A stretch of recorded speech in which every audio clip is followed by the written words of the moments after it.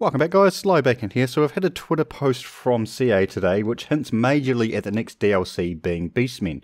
Now if you read through it, there's a couple of interesting points you want to highlight. The first being Drakwald. So Drakwald is the forest region that surrounds Middenland and a wee bit of Nordland as well, which is where the Beastmen actually come from. And on the very last line, you want to look at bring your bow of amber, it will be needed. So what is the bow of amber?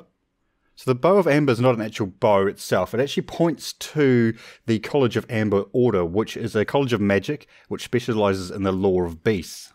Which is one of the magic orders we have not seen in the game as of yet. So there could be two things. It could be either Beastmen or we're getting a new mage. We are all going to wait with bated breath for more information and hopefully we don't have to wait too long. CA are pretty good at dropping hints a couple of days before the actual release. So fingers crossed in the next couple of days we're going to see some more information.